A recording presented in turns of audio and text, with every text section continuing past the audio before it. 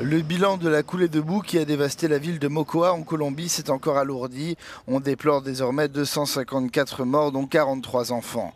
Troncs d'arbres arrachés, voitures emportées ou écrasées, tout n'est que désolation. Les quartiers pauvres sont les plus affectés, là où s'entassent de nombreux déplacés du conflit armé avec les FARC. La ville reste privée d'eau courante et d'électricité. Le retour à la normale pourrait prendre plusieurs jours. En attendant, des camions-citernes sont acheminés dans la ville.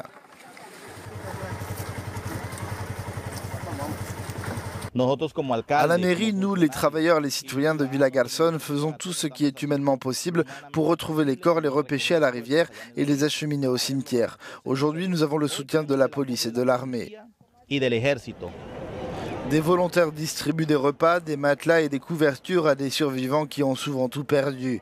Les secouristes poursuivent sans relâche leurs recherches dans l'espoir de retrouver les survivants. La guérilla des FARC a offert son aide pour participer à la reconstruction de Mokoa.